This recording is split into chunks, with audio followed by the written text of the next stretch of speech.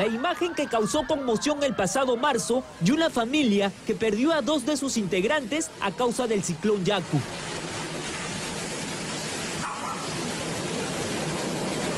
Luego de este episodio de tragedia en San Martín de Porres, 23 familias damnificadas tendrán una nueva vivienda otorgada por el gobierno en Caraballo.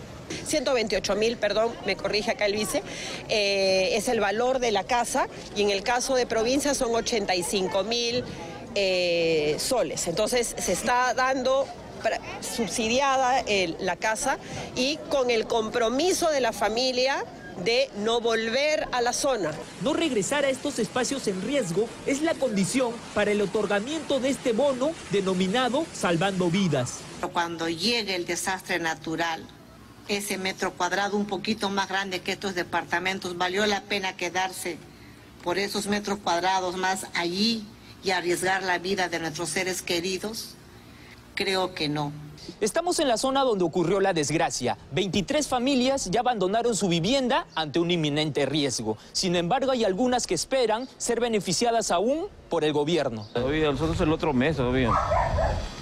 Hay una parte que ya se van a ir, pero nosotros todavía no. Si recorremos a Martín de Porres, aún hay familias expuestas justamente a la tragedia, ante un fenómeno del niño. ¿Qué plan se tiene con esas familias? Es importante que el alcalde tome el liderazgo, tome el toro por las astas y decida declarar esas esa zona que todavía eh, está en riesgo como zona de riesgo no mitigable.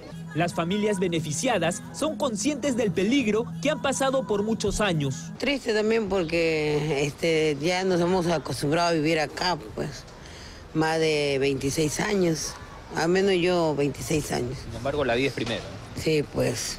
No solamente de ustedes, sino de su familia. Ajá, de todas las personas que viven a la ribera. En tanto, los vecinos remarcan este pedido. Si ellos ya se van, entonces van a venir gente de mal vivir gente de que se pueden meter.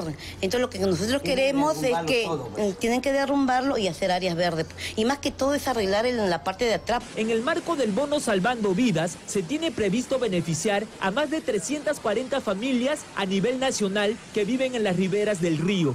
Esto ante el fenómeno del niño.